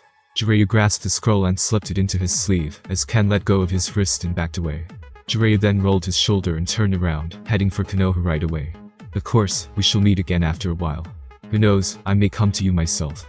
Safe travels, Jiraiya. Ken gave the Sannin one last smile and waved at his back. Same to you, Ken the Sannin turned around and waved as well with a large and toothy smile on his face. After that, the fledgling sage took off like the wind, using the body flicker technique. At that point, Ken simply cracked his neck one last time, and also took off into the forest, away from the Brotherhood. A few seconds after that, the white Zetsu that was watching also smiled. So he really did take off, huh? I guess our new intel provider is the real deal. That grass village nobody's sure is pulling his weight. Better report this back to Madara. The humanoid creature gave one last smile towards the direction that Ken had left, before slipping into the ground. He. He's sure to receive a warm welcome when he comes back POV narration. The sky cried with drops of rain. The ground was barren and cracked, and the entire world seemed to have gained a gloomy atmosphere as soon as Ken stepped onto the land of rain. The blind assassin felt the rain hit his hair, he felt the droplets reverberating as they hit his mask. It was a rhythmic song, one that he had already gotten used to. Ken had always disliked the rain, as it bothered his sensitive ears at first. But now he was more than used to it.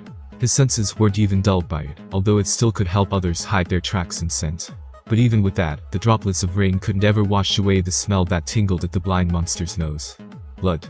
Soaked into the earth, not allowed to go dry due to the frequent rain. It wasn't difficult for Ken to realize that he was dashing through a battlefield. He could have gone via air too, his wings gave him that option, but he also didn't want to make his departure from the Dark Brotherhood too conspicuous. Even if it was part of their plan, they couldn't quite make it that obvious for their enemies. After all, Ken had always made an effort to travel stealthily, to attract as little attention as possible. Clouds weren't always going to provide the blind monster with the perfect blanket, and Shinobi always had a keen eyesight. Overall, it was much easier to hide among the vegetation, and he was also a lot more familiar with it. But it seemed that even if he hid well, he was still being tracked that spy. There were dozens just like him stationed throughout the forest as I traveled. Hiding in the ground, in tree barks, everywhere really. They didn't notice me, at least I don't think so, but they clearly know where I'm going. I guess Saburo did his part well, but they still need some time to gather their troops. The executives of the Dark Brotherhood, namely Ken and the Blades, had speculated that their opponents would make a move right when the blind monster was going to return to the Dark Brotherhood. Still, it was surprising that their enemies had stationed so many spies along the road. I wonder how many of these things there are they still didn't feel human to Ken. They felt about as human as he did, but somehow even less as not one of them even had a chakra network. At least it's doubtful that they are strong. Physically they should be decent, but I doubt any Jonin worth his salt would have trouble against them, even if they had physical strength. It didn't mean much unless they also had more tricks up their sleeve. Ken also had that advantage as a child over the seven swordsmen of the mist. He was physically stronger than most of them, but he hadn't yet gotten accustomed to the way that shinobi fought, and he had almost died because of it. Of course, that wasn't the only time he had almost died in his career. But that was when he had been the most unprepared for it. One thing was for sure physical strength alone won't get you very far. I wonder if they have any other tricks up their sleeve there were many variables at play. For one, what if they could also transform? Ken's transformation awarded him with quite a few things, like his claws and tails. There was also the fact that he could manipulate his size at will. But the thing with his transformation was that it relied on him sealing off his tenketsu, stopping the flow of chakra in his body and limbs, or at least thinning it out considerably. The things following him didn't even have any chakra. Going by what I know, these things should just be statues, we'll have to capture a few of them to study for sure. Now that he was on a mostly open field, Ken realized that the spies knew of his location, but at the same time. That was also good, this way his enemies knew that their intel was correct. Ken was always thorough when traveling, yet at the beginning of his journey, he was very much willing to sit by the fire and eat with travelers. He didn't care if anyone saw him with the exception of his targets. That had only really stopped after the hidden villages started annoying him constantly trying to recruit him in Wetnet. It's actually a shocker that it took them this long to act out against me, I guess they were too busy biting at each other's throats. It was a shame that his piece of heaven had to be threatened so often, but it was also inevitable. Whether it was today or tomorrow, the Dark Brotherhood was bound to face adversity. But that was what they had been preparing for anyway, so all was well. But for now, the blind monster was going to forget about the war and plotting. Currently, in his mind, he thought only of his goal within the Land of Rain.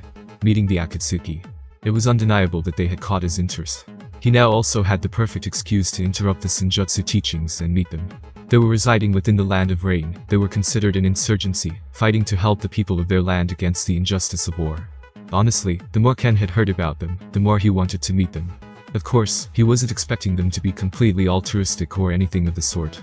He had already gotten used to being disappointed by Shinobi, so he didn't set his expectations too high. But they were still higher than usual. Eventually, he reached their camp. An assortment of tents at the bottom of a small ravine, and some caves, also seemed to be dug out. Ken stood at the extremity of the ledge, he was crouched down and observing the rather small group that was resting below. There were only around 20 people from what Ken could feel. All of them seemed to be quite average in strength. Everyone in the Akatsuki seemed to be wearing similar clothes too. To Ken, it felt like a zip-up robe. Most of them were also wearing forehead protectors, signifying that they either were or used to be shinobi. But three of them, whom Ken assumed to be the leaders, were the strongest and most noteworthy. They stood at a small table with some papers on it, underneath a wooden roof. They, alongside everyone in the camp, were around Ken's age. That is to say, teenagers. Two of the ones at that table seemed to be capable enough to be called Jonin. At least it was the vibe that they gave off to the blind swordsman. They were likely going to be stuck at that level for a while without proper guidance. Still, for a boy and a girl in the early stages of life, it was remarkable. The teenage boy was dressed like the rest of the Akatsuki, he seemed to have spiky hair that was raised up to the sky. And the girl seemed to have a flower stuck to the bun that was to the side of her shoulder-length hair. Those were about the most remarkable features they had, at least from Ken's senses. But one of them was somehow even stronger than those two put together. His chakra reminded Ken of the Uzumaki, it was extremely vast. His hairstyle was quite simple as well, his right eye was covered by hair, reminding Ken of how teenagers back in his old world used to style their hair in order to appear mysterious or something. But he didn't spend much time dwelling on the hair no, he was focused on something much more catching. The teenager's eyes. I have never felt anything like this before those eyes gave Ken an odd feeling, intimidating even. They seemed to contain powers that he knew nothing about, powers great enough to make him reconsider ever facing the wielder of said eyes. This feels far more powerful than the Sharingan it almost feels unnatural, yet not at the same time. I can't quite put my finger on it. Ken mused over that feeling for a few good seconds. And in that time, it seemed that the one wielding those eyes spotted him as well. The blind monster could feel those eyes on him, it was almost as if they were looking at his soul. Hmm, good thing he isn't participating in the upcoming war. Ken sighed as he took a step off the edge and immediately plummeted towards the earth, much to the shock of the people below. And just as he was about to hit his landing, the one with special eyes moved his hand, pointing his palm at Ken's airborne body. The blind assassin felt a powerful force pluck him from the air and towards that open palm. Manipulating gravity. No, is it space? Hard to tell Ken resisted that pull with all of his might, twisting in midair and flipping over the special teen, grabbing his extended wrist in the process, and pulling it up as he landed behind him. Most of Ken's upper body was shrouded by the shadow of the wooden roof over their heads, obstructing the dim sunlight. Ken's movements seemed to be too fast for the other two teenagers to follow, but as soon as he landed they acted. Almost as if on cue, both of the teenagers that had been idling by the side of the strongest rushed to Ken. The boy held a short blade to his throat, and the girl pointed what felt like a paper kunai at his heart. Let go of Nagato, right now. The boy shouted as he prepared to cut into Ken's neck. Meanwhile, the one with powerful eyes, Nagato, stood still with his wrist still firmly in Ken's grasp. The blind monster could feel cold sweat rolling off of the boy's temple. Keikonin, Yuhiko, calm down, put your blades down, he's not an opponent we can fight right now. Nagato still didn't turn around as he addressed his two friends, whom Ken now also knew the names of. Ha, what are you talking about Nagato? Your technique worked on him, that means we have nothing to be afraid of. Yuhiko commented while tightening his grip on the tanto that he held to Ken's neck. At that time, Nagato couldn't help but feel fear. He gulped a bit internally. He could have easily ripped my head off as he passed by me just now. What an outrageous monster his fear was well warranted. No one had ever managed to resist the pull of his technique before. No one up to this day.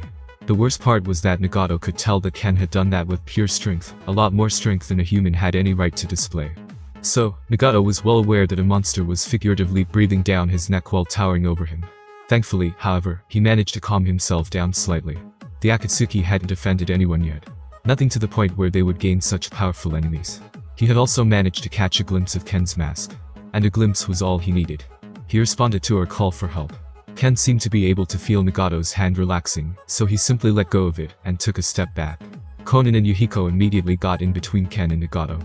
The boy with the special eyes immediately turned around and patted both of them on their shoulders, almost pulling them in an awkward hug, as he gave everyone present a shaky smile. If my eyes do not deceive me, I believe that he is our guest the Red Dot. Nagato looked in between his two friends as he broke the news to them. Ken also smirked underneath his mask, as he took a few steps to the side, essentially stepping into the light. Your eyes are keen, young man Nagato was it. The blind monster smiled as he internally vowed to remember that name. Yahiko and Konan seemed to freeze in shock almost immediately. Both of their mouths hung wide open as they realized what they had just done did. We just tried to threaten and kill one of the strongest people alive. Also, it's the same person we are supposed to be begging for support. It was a horrific realization to come to. Nagato couldn't help but laugh awkwardly when seeing their stuck expressions. They may take a few seconds to recover mentally from this, but to answer your question yes, my name is Nagato. Sir Red Dot, it is a great pleasure to have you here. Although Konan and Yuhiko were stun-locked, Nagato was still there to awkwardly but enthusiastically greet their guest. Oh please, call me Ken. I do not care to hear my nickname in casual conversation. And on that note, the diplomatic talks between the Dark Brotherhood and the Akatsuki started. POV narration. Ken sighed as he sat down at the table of the Akatsuki. Things have calmed down significantly now. Yuhiko had to go and calm the other members of the Akatsuki down too, since they were all rather disturbed by the commotion. They were currently waiting on him to continue their meet and greet. Nagato seemed to be more than welcoming to Ken, though he was still acting a bit awkward. Konan was acting quite guarded from the feel of things. It was also surprising to hear that it wasn't Nagato who was the leader of the Akatsuki, but Yuhiko. It seemed that while Nagato was the strongest, he lacked the most basic qualities of a leader and hated public speaking. Somewhat of an understandable situation to Ken. Nagato was still very much a child, a war orphan at that from what the blind monster understood. It's safe to assume no one in his family awakened the same ocular power. I doubt they would have become victims of war if that was the case. Ken couldn't quite put his finger on how Nagato's power actually worked. He had barely been able to resist the pull, it got stronger the closer he was pulled. He didn't actually resist it in reality, he had only really readjusted his trajectory, and used to pull to jump behind Nagato at that time. He had done so smoothly, but he still almost broke Nagato's wrist by mistake. The power to attract people and objects why haven't I heard of such an ocular power before? Ken's information networks weren't really the best in the world, sure. But he still relied on rather reliable sources. The guild of information brokers he employed gave him updates on the ninja world and on its many clans. But not once did he receive a report about a clan with such a power. It was similar to how he had never received a report about someone with powers like his well, besides the Grey Fox. But that was also him so it didn't count. It must be some rare bloodline mutation of sorts if that's the case, then it's unlikely that just pulling things is its only ability. The thought was certainly concerning, but it was also very curious. After all, if his pull was so strong as to actually have Ken barely breaking out of it, then how strong were the other abilities? The blind assassin mused for a second before focusing all his attention on the matter at hand. Yahiko seemed to have finally returned, and now all three teenagers seemed to be looking up at him to start the conversation. Hmm, I guess I shouldn't expect teenagers to be accustomed to political talks. Letting me control the conversation in their own territory doesn't give off a good first image. Yahiko seemed to be the most upbeat and would have likely started the conversation had things been different. But he was likely a bit stressed by the fact that he had just held a blade to his guest's neck. Nagato seemed a tad too socially awkward to start up the conversation again, and Konan was still too guarded. Since we are all here, and there are no other distractions, I suggest we start with introductions. And so, Ken crossed his arms and decided to take the helm of the conversation. Alright. Yuhiko seemed to finally recover, coughing into his fist before giving Ken a wide smile. I am Yuhiko, leader of the Akatsuki. To my right here is Nagato, and this here is Konan. Yuhiko reintroduced everyone present, Nagato just smiled and waved, while Konan nodded towards Ken. It seemed she decided to drop her somewhat hostile behavior. At the end of the day, it was the Akatsuki who requested the Dark Brotherhood's assistance. It is a pleasure, my name is Ken, people call me plenty of things these days, but you may just use my name. The blind monster nodded towards the trio before turning his attention to their table, where a parchment was laid out with a kunai stabbed somewhere on it. All three of you are quite skilled did you have any formal training? Ken asked while scratching his chin. Well, we did have a master for a while, Konan gave a short answer while looking away for a second. It was Jiraiya, one of the three Sannin of the Leaf Village. He was our teacher while he fought in the Land of Rain. Nagato didn't seem to have any qualms about telling Ken the truth. Jiraiya. Ha, quite a funny coincidence, Ken couldn't help but smile as he remembered the perverted sage. Oh did he also teach you at first? Yahiko seemed excited at the prospect of having the same master as someone of Ken's reputation. Hmm, no way. I am his teacher in Senjutsu. Ken's answer was like a bucket of cold water dropped on Yahiko's head. The trio blinked a few times, not quite sure how to react to the fact that someone a bit younger than them was the teacher of their teacher. Ken didn't seem too interested in continuing that talk, however, so he decided to just jump onto the main point. So what is the reason for calling me? Is it just to establish contact, or something more urgent? Ken tilted his head to the side and spoke in an even and monotone voice.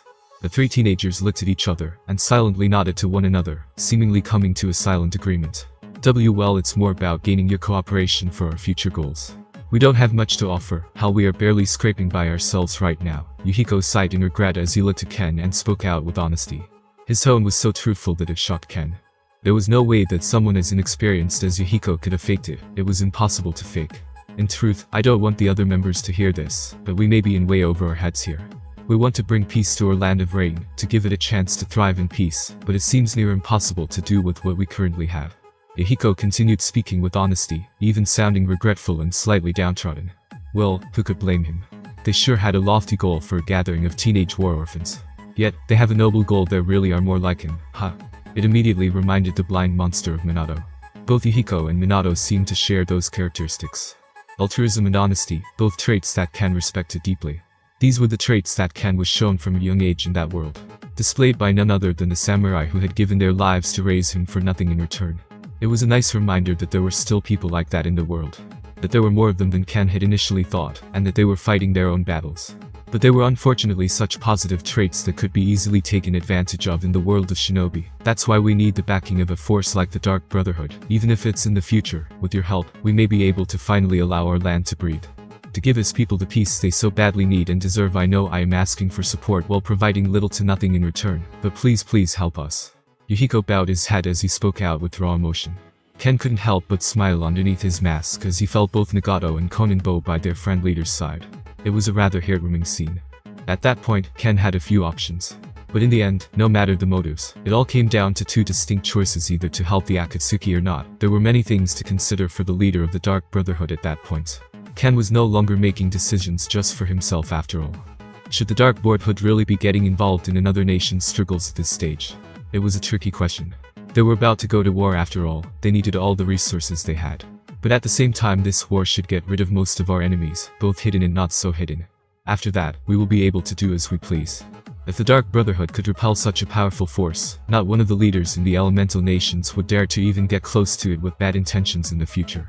Besides, there was also another rather important point they aren't asking for immediate support, they just want some help, and to have our backing. Yuhiko and the Akatsuki weren't exactly asking for anything in particular either. Even if Ken just said sure we'll support you. And then left without any further contact they wouldn't even be able to complain. In the first place, Ken had made the mistake of thinking that some type of negotiation was going to happen when he had first arrived. He wanted to treat it as a usual diplomatic discourse. But that wasn't what was happening at all. It was just a heartfelt request for aid from a group of orphans in need. And how could Ken ever face the children in the Dark Brotherhood if he turned down such a request? I don't want to live this life of mine with any regrets, so the answer is obvious. The silences stretched for a good minute, and during that entire time, the three teenagers in front of Ken hadn't raised their heads. They were clearly growing anxious.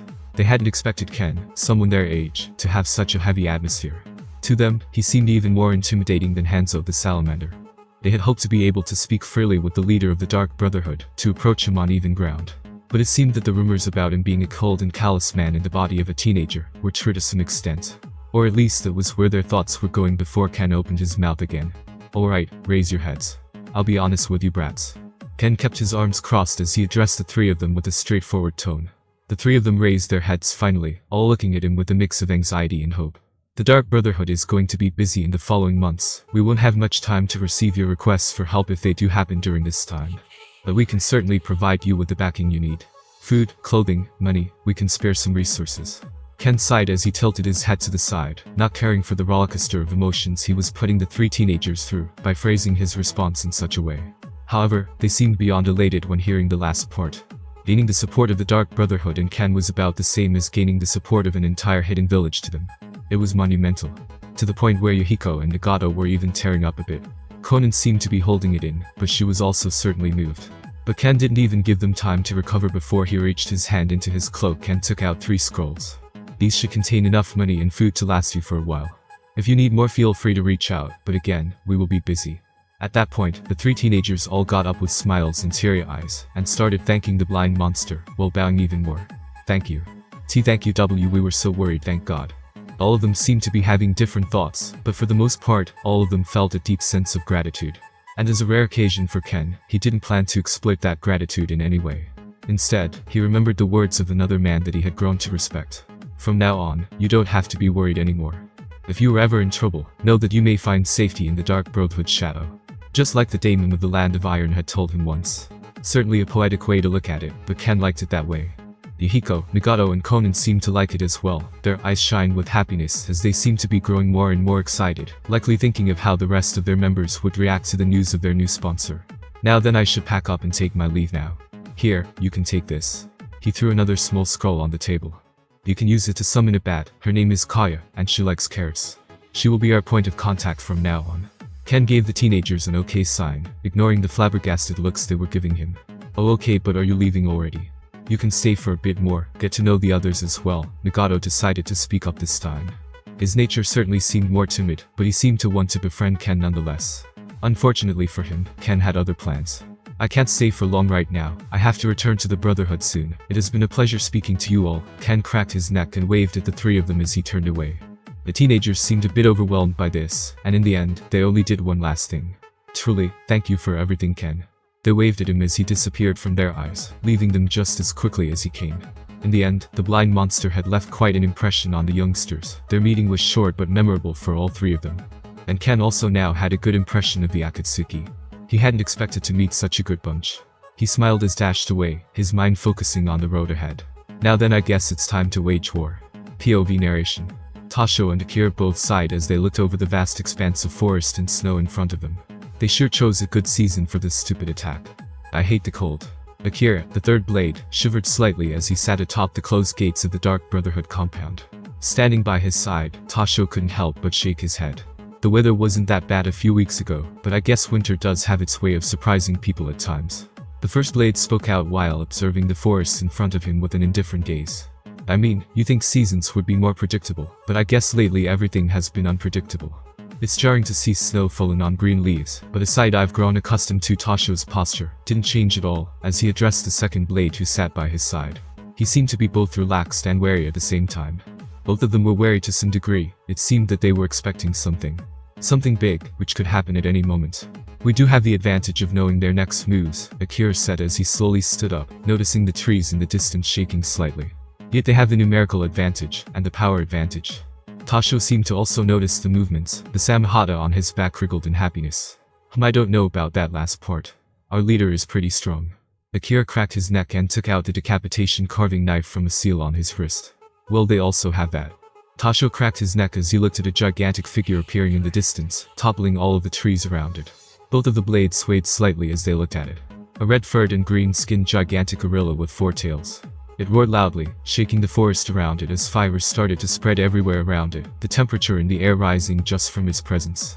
The four-tailed beast I guess Sawagakure is going all in Tasho slowly grasped at the wriggling handle of the Samehada, behind him countless shadows blurred, spreading out in every direction from the compound. As if that wasn't enough, Akira then looked to the side, slightly behind the four-tailed beast, another one rose from the foliage. A gigantic white horse with a dolphin's head. It has two pointed long horns to the sides of its head, and three shorter horns in front. Its most telling features were the five tails wriggling behind it, lashing out and snapping parts of the forest around it. Both of them are here, Akira muttered while shaking his head slightly. He narrowed his eyes as they seemed to glint with anticipation. Do you think we will be able to take them on? The second blade continued speaking while already stretching. It was more of a rhetorical question. It didn't really matter what his chances of taking on the tailed beasts were. That was also true for Tasho. Their job was to stall them, not to outright defeat them. The armies of the allied villages are likely hiding behind the tailed beasts for now. The first blade spoke as both he and Akira stared down the tailed beasts fearlessly. Both the four and five tailed beasts seemed to move in unison, all of their tails pointed to the sky, as energy gathered at the tips of their tails, forming a gigantic ball of chakra in front of their mouths. The gigantic gorilla had a ball of glowing red chakra, it seemed to be smoldering the atmosphere around it. Meanwhile, the horse seemed to have created a ball of compressed steam, which was also radiating enough heat to rival that of the apish four-tailed beast. They really do want to just wipe us out, it seems Tasho shook his head as he raised his hand. Tailed beast lava bomb. Tailed beast steam bomb. Two monstrous voices thundered through the entire mountain range, as their heads snapped in the direction of the two blades. The two gigantic orbs of power immediately compressed and started barreling forward, rolling and burning every tree that stood in between them and the Dark Brotherhood compound. At that moment, Tasho waved his hand and tilted his head. Then, both he and Akira cut their thumbs with the nail of their index finger and tapped the ground at their feet at the same time. Summoning. Triple Rashomon. Summoning. Triple Rashomon. At that moment, six demonic gates rose from the ground to meet the attacks of the tailed beasts, as both of the blades braced for impact. An A-rank defensive jutsu that they had managed to scavenge off of a dead body which was found decapitated at the bottom of the sea. The jutsu was high in chakra consumption, but also extremely powerful. The tailed beast bombs collided with the first gate and passed through it without any issue, seemingly melting it on impact as both Akira and Tasho started sweating. The same was true for the second and third, they were melted almost instantly on impact. Only on the fourth one was there resistance, but all it took was a few seconds of the chakra orbs pressing into the demonic gate to melt through it. And on the fifth one, they stopped completely. But that was nowhere near the end of it. In an instant, both the lava and steam orbs started expanding rapidly. In an instant, they engulfed everything that the tailed beasts could see from a distance. It was a raging storm of lava and steam, sure to melt through anything and anyone that was still within the Dark Brotherhood. Kemishin successful the Jinchuriki of the four-tailed beast from Shai muttered as he slowly prepared to transform back into his regular form. But another voice stopped him. No way it was his companion and fellow Jinchuriki of the Rock Village, Han. The usually silent man was also in his tailed beast form. His gigantic horse body was constantly emitting a layer of steam, which threatened to melt the skin off the bones of everything that came close. Despite that, his voice sounded strangely perturbed. Huh. What's happened? Roshi muttered as he turned his gigantic gaze to what should have been the ruined remains of the Dark Brotherhood compound. As the steam and smoke died down, the two of them could clearly see a thin red barrier had appeared between the fifth and sixth Rashomon. The red light seemed to be in the form of a square which completely engulfed the entirety of the Dark Brotherhood. Shit, a sealing barrier. Roshi shouted as he turned to his companion, only for his eyes to widen. Before they had even realized it, they were also engulfed in very similar formations, although at a much smaller scale. Roshi banged on the walls of the prison he found himself in with overwhelming force, but all of his efforts yielded nothing. The four Red Yang formation. Back on the intact gate of the Dark Brotherhood compound, Tasho couldn't help but sigh in appreciation. The four Red Yang formation was the gift of the Uzumaki clan, and it was certainly a powerful technique. Despite tanking two-tailed beasts simultaneously, the barrier didn't even budge or shake. The only problem was that it did require four people with Kage-level chakra pulls to raise and maintain it, making it quite literally the most taxing barrier formation ever. Now such a restriction meant nothing to the Uzumaki, as all of them were insane in chakra levels. But things were trickier for the Dark Brotherhood. In no way did they have 12 Kage-level people on their side. But with a rather smart and innovative use of the chakra draining seal, they at least had 12 pillars that could uphold the formations. The ones around the tailed beasts weren't as strong nor as large. They were also somewhat misshapen, but that was because the pillars holding them up were made up of several kunai buried into the ground. The proper seals were placed on said kunai, and they were powered by the chakra of the students who had created them. They did require a lot less chakra thankfully, but the one around the compound was a complete barrier seal cast in a white area. It also needed a longer time to cast, which was why Tasho and Akira needed to buy a few precious seconds for it. Ha. I can feel my chakra getting drained. Here's hoping we can at least maintain this for an hour. Akira mumbled a bit before sitting down in a meditative position, cracking his neck and focusing on recovering his chakra as it was being drained. Even so, all of the collective chakra of the Dark Brotherhood is gone into this let's just hope that Saburo's intel is correct. Tasho shook his head before also sitting down and doing the same as Akira. The second blade tapped a seal on his wrist and took out a few food pills, before moving his mask slightly to the side, placing them in his mouth and chewing. At least I won't be getting hungry anytime soon. The immortal smiled and eyed the struggling tailed beasts in the distance, as the six still intact Rashomon gate disappeared. If you do go hungry, please bite the faces of our enemies and not mine. Thank you. Yeah yeah, stop yapping so much about it, it only happened once, and it was just some random bandit. Akira seemed to take offense to Tasho's words, but the first blade only shrugged. If you followed your diet plan properly, that wouldn't have happened. If you like talking shit so much, why don't I shove a funnel deep into your stomach, so you can shit through it, ha. The two continued their banter while the army of shinobi banged at the formations they had created, trying to free the tailed beasts. They were unsuccessful, to say the least. Things were going to plan for the Dark Brotherhood, at least for now. Ken was also already halfway there, he was almost past the land of grass, right at the border with the land of waterfall. He sighed as he smelt the opposition ahead, he climbed up a large hill, and on the other side was a gigantic lake. Ken could feel countless shinobi within that lake lying in wait. He could also feel a few rather specific chakra signatures, significant ones actually. A few Kage and a tailed beast that's it. Ken shook his head as he spoke out loud to nobody. But he was sure the little spies that had been following him around heard his words. It was almost as if he had triggered an earthquake. In an instant, countless figures rose from within the lake. How the hell did he spot us? As expected of the world's strongest bounty hunter, huh? Even if he's a kid, many shinobi voiced out their frustrations as they stepped onto the calm lake and stared at Ken with narrowed eyes. This is where you die, you abominable brat. Lord Yu was in the middle of the lake too, speaking from behind the army of shinobi, as he hoped to finally see the death of the one that had caused the grass village so much shame. Oh, some old nobodies among you all too. So strange.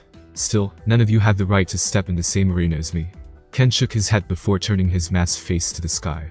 What was the point of bringing so much cannon fodder over Onoki? In the sky, the legless figure of a small old man lowered from above the clouds and huffed. TSK, don't get too complacent, today is the day you die red dot. You and the Dark Brotherhood you worked so hard to create. Onoki huffed in rage as a few figures appeared by his side. One was a tall man with spiky hair, he seemed to be floating on black dust or was it sand? Ken didn't really know.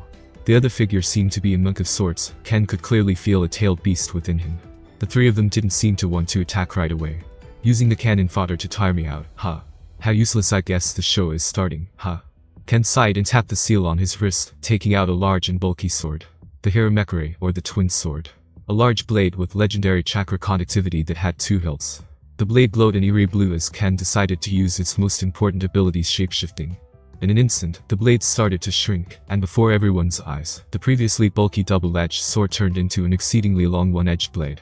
A long dachi, something that was certainly more in line with Ken's style. The shinobi looking at it couldn't help but gulp, it looked like it could cut through scores of men with just one swing. Let's see how well the lot of you can dance. POV narration. Ken cracked his neck as his now thin blade shone a dangerous sparkling blue. It became even worse when the blind monster grabbed the second handle of the blade and separated his long blade in two. He held them with their tips slightly above the ground and pointed to his sides. They were both just as long, slightly thinner than a regular katana. Lightning rolled off of both of them as Ken's chakra charged and unleashed their full potential. The aura surrounding them felt dangerous to all of the shinobi that now faced him, but not one of them seemed to hesitate, all of them raising their weapons and preparing their jutsu. Their leaders had made it clear to them that Ken was a danger to their villages, to their loved ones, and to their livelihoods. They needed to make sure that he was going to die there, and if they needed to give their lives to tire him down, they would do so without hesitation. If their lives could whittle down the monster in front of them, then it would surely secure a better future for their villages, right? At least that was what they kept telling themselves. Those were the words that kept repeating in their minds, on and on. It was an endless loop of affirmations that was not even entirely their own. Which was why Ken could sense it the fear that seeped deep into their bones. They were just shinobi, doing what they were told was best, following orders blindly. But that didn't mean they fully knew the situation or understood why they needed to now face their deaths, therefore they couldn't help but feel fear. At least the majority of them were like that. There were also a few who were so brainwashed that their fear was overwhelmed by their pride. And they were the ones to attack first. Charge. The shinobi, although only a small percentage of the army, still numbered in the hundreds, and Ken sighed and simply cracked his neck when sensing them. He jumped once, twice, then dashed forwards as well, at speeds far exceeding that of his enemies. His elongated blades cleaved through scores of enemies, a blue aura of lighting extending from them with each slash, and cutting them down, before they could even scream out in pain, split in half while shouting in pride. Swords broke, blood spilled, and a blind swordsman gripped both of his blades harder, before immediately raising them over his head in a cross shape. That sudden move blocked three masked shinobi that were trying to cut him in a downward motion with short blades. Sparks flew as the blind monster smiled underneath his mask. The ground behind him broke at that moment, with two more shinobi rising from it, their blades already pointed at his back, aiming to stab through his heart. Ken's leg immediately shot to the side, aiming a backwards kick at one of their arms with his heel, knocking both of the assailants' blades to the without even turning his head to them. Then the blades of the shinobi he was clashing with finally seemed to have had enough. They all snapped, and Ken's hands turned into a blur as his blades cut all of the shinobi in halves, as if with scissors. Shit. Fire release. Great fireball technique. One of the shinobi to the side spat out a ball of flame large enough to completely engulf Ken. But the blind assassin casually swiped one of his blades towards it, splitting it in half with a wave of blue ore, while his other blade decapitated the two men who had tried to stab him in the back. Shit. Don't use fire. You'll create a smoke screen. Remember he doesn't have eyes. He doesn't need sight. One of the shinobi round them shouted out in a panic on noticing the slight steam that rose from the remains of that fireball. Ho. So they did their homework, huh? Ken couldn't help but tilt his head slightly, both to express his emotions and to dodge a kunai that whizzed past his head. The dried up grass around him still burned from the fireball, but it likely wasn't going to spread too far. Wind release. Air bullets one shinobi to the side tried to use a jutsu as well, likely wanting to fan the flames in hopes of burning Ken even slightly. But he had found himself a bit too close to Ken, before the first air bullet even left his mouth. His head was cut off as Ken dashed towards the shinobi once more. Earth release. Rock grasp. Just as he decapitated a few of them, the earth rose and formed hands at his feet, gripping tightly and trying to hold him in place. But that was never going to work on someone who was permanently in sage mode like Ken. With his absurd strength, the blind monster completely disregarded the earth's bindings, breaking them without even trying and continuing with his carnage. Wind release. Vacuum blade. Immediately, a swordsman approached, an actual challenger. A man wielding a katana infused with wind dashed in front of Ken and clashed blades with him. Blocking both of Ken's blades with his own as the ground underneath him broke from the pressure. He seemed a bit more skilled than the rest, his blade sparking with a whitish ore, while both of his hands trembled on the hilt, trying to not be pushed back by Ken's blades. The two of them were in a deadlock for a second, as the shinobi did his best to essentially hold back the monster they were facing. Water release. Water dragon bullet technique. To the side, several shinobi used that strength to form an attack. They molded the water in the lake behind them into dozens of small dragons, which immediately rushed towards Ken and just as the dragons were about to reach him, he immediately tensed up putting more power into his hands. The other shinobi's arms seemed to break in an instant as the deadlock fell apart. Ken's blades then moved madly. Dragon Twister. With the two blades firmly in his grasp, the blind monster spun at a speed large enough to create a tornado so large that it reached the clouds. Plenty of people that were around him got caught up in it as well, and the water dragons seemed to get absorbed into it as well, managing to do no harm to their intended target in the end. The tornado ended not soon after Ken stopped spinning. It was already self-sustaining, but one downward slash using the momentum he had gathered from spinning broke it apart in an instant. It also created a flying slash that split apart the earth and segmented it greatly, making the battlefield even messier than before, and even trapping some shinobi in the rubble. Bodies also fell from the skies, crash landing onto the ground. Some died, and some managed to break their falls. Some even got rescued by the Kazekage it seemed. The Iron Sand user had a limited storage of sand, however, so he could only help so many. To the side, a group of shinobi had finally finished their hand signs and completed a large-scale jutsu. Earth release. Sandwich technique Ken's had turned to his sides as gigantic walls rose from the ground and threatened to crush him. They were so big that Ken could feel them spanning hundreds of meters. It seemed that the shinobi were very serious about trapping him there, even if for a while. Or maybe they actually thought such a thing could crush him. Unfortunately, much to the surprise of the shinobi that had used the jutsu, Ken made no move to rush out of it or block it. Instead, he dove headfirst into one of the walls as they closed shut with a loud bang, creating a shockwave that blew away all of the dust that had gathered. Shit. He's gone into the ground. Sensory shinobi, try to track him down. Dust rose all around them as the gigantic dome of the earth stood there unmoving, all of the shinobi tensed up, as they could only gulp and wait for their opponent's appearance. Those that had sensory abilities tried their best, but they couldn't possibly find their world's most infamous assassin so easily, now could they? Keep your eyes peeled. He'll strike at any moment. A shinobi shouted as more and more of them stepped onto the already bloody shores of the lake. But as one lucky shinobi stepped onto the shore, he felt the waters behind him shift. Looking back, his gaze was filled with horror as he looked back. H on the lake. Everyone's heads immediately snapped towards the middle of the lake, where Ken's figure stood silently, his two thin blades now steadily fastened onto his back, underneath his cloak. His presence was so fleeting that he blended in between the panicking shinobi who were still hesitant to face him. I'm sorry for what I'm about to do. Ken's voice sounded almost regretful, it was also quiet, as only a few of the shinobi around him had heard it. Instead of facing off against the powerful assassin, they all immediately turned their tail and ran, jumping from wave to wave as the waters rose, while Ken made some hand signs. Stop him. Sim cried. But it was already too late. Ken brought his hands together one last time, just as a few kunai and flaming shuriken were about to reach him, and in an instant, a wave of water rose up all around him. The shinobi watched in fear as the wave around Ken grew and grew, before suddenly rushing outwards, taking an odd shape. Water release. A thousand feeding sharks. The wave turned into an army of small water sharks that tore into the hundreds of shinobi still around Ken. Blood smeared the waters and limbs flew everywhere, as now even the people above realized that they needed to get involved. Dust release. Detachment of the primitive world technique. From above, a gigantic white pillar rushed towards Ken, aiming to interrupt his technique.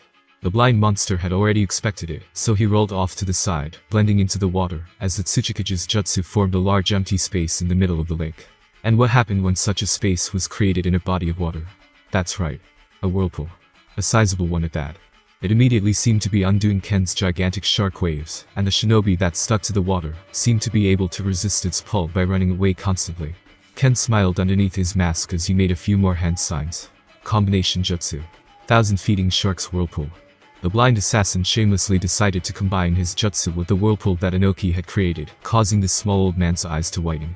Sharks immediately formed in the water and started spinning in the same direction as the whirlpool, strengthening it and making it larger and larger. Shit. Everyone get away from the lake. But Tsuchikage spat out that order as he considered sending another dust release to undo that combination jutsu, but he knew that at that point, Ken could just continue using the whirlpools to his advantage. And if the situation were to turn into a battle of endurance, Onoki was unsure if he would win with the absurd consumption that came with dust release. In the end, he was forced to watch as hundreds upon hundreds of men were shredded apart by water and sharks, and the entire lake became a death trap. As should the shinobi that were on the shore all seemed to take a step back, unsure what to even do at that point. As so that's the power of the strongest bounty hunter. Shit, and he's still so young. Many voiced out their concerns. Now even the more brainwashed shinobi were starting to have doubts about their chances of even tiring out the monster they were tasked to deal with.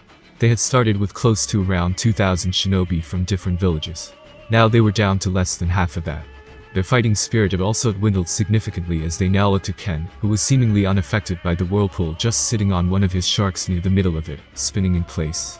The lake had mostly turned red in the blood of their comrades, and it was only a matter of time before they joined their friends in the afterlife, if they actually tried to go after Ken again. Shit seems he's very proficient in water release. We need to get rid of that source of water. The third Kazekage scowled as iron sand rose around him, forming spikes and pointing at Ken. But before he could attack the blind monster, the Tsuchikage raised one of his arms and waved it dismissively. Don't bother attacking him there despite his demeanor, he spoke in a frustrated tone. He then turned towards the monk who was floating on some sand to the side. Oi, Jinchuriki. Get rid of that lake. Onoki shouted that order coldly. He then signed to the shinobi below to not act and rush into the waters anymore. As you wish. The Jinchuriki smiled before his eyes changed color, turning from blue into a deep yellow, as sand started coming out of his body. Ken turned his head towards the sky at that moment, feeling the surge of chakra and shaking his head. The Jinchuriki is finally joining in, huh? And that concludes this episode. If you enjoyed it, I'd seriously love it if you guys could leave a like on the video as it genuinely helps out so much and it keeps me going, plus it takes only one second. That said, have a wonderful day. Hunter hat salute.